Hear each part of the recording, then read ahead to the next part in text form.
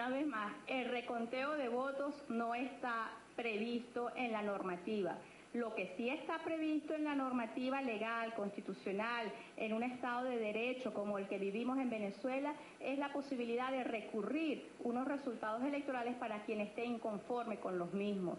Y para eso están las instancias competentes, válidamente establecidas. En el caso de un resultado electoral presidencial, el Tribunal Supremo de Justicia, con los soportes que corresponden, ¿verdad?, se deben presentar y, este, y, y pueden realizar una impugnación en el caso que así fuese.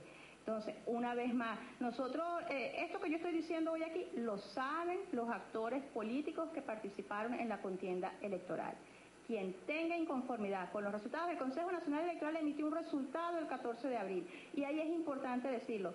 Estuvimos por unanimidad, los cinco rectores de este Consejo Nacional Electoral vimos, producto de la totalización, cuál es el resultado electoral. Y bajamos y los anunciamos al país. Y los anunciamos cuando eran estrictas y rigurosamente irreversibles, como siempre, como marca, como pauta del sistema electoral venezolano y como lo hemos hecho nosotros siempre con muchísima seriedad y con muchísima responsabilidad.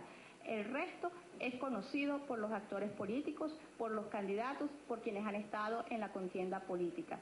Entonces, una vez más, llamamos a, ser, responsables y a atender con responsabilidad las informaciones que se dan al país no crear falsas expectativas sobre lo que es una auditoría técnica que se ha realizado en ocasiones anteriores y que de ninguna manera revierte resultados electorales. Los resultados se dieron, se dieron el 14 de abril, son públicos, los pueden verificar en la página oficial del Consejo Nacional El Consejo